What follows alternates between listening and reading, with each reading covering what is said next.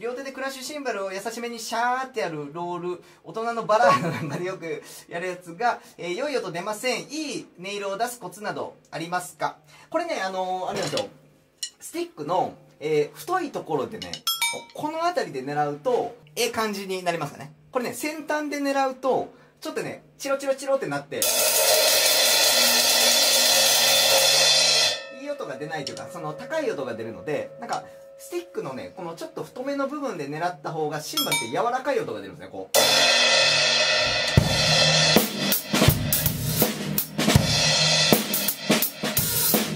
逆に、このスティックの先端の方で狙うと、シンバルって高い音が出るんで、こう。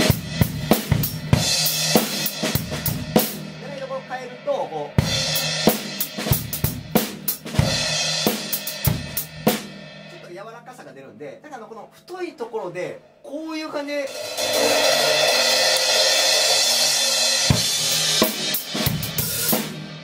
となんかええ感じになりますよね。このここから狙うんだよ